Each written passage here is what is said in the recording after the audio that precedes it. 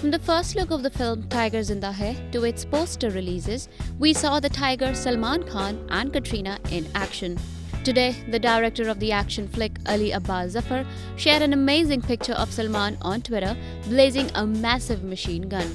Ali captioned the picture as 5000 rounds fired, Tiger Zinda Hai. The posters have left the fans and audiences anticipate for something much bigger and larger. The makers of Tiger Zinda Hai have locked Christmas 2017 for the release of the film. So let's hope for a film filled with action sequences never seen before.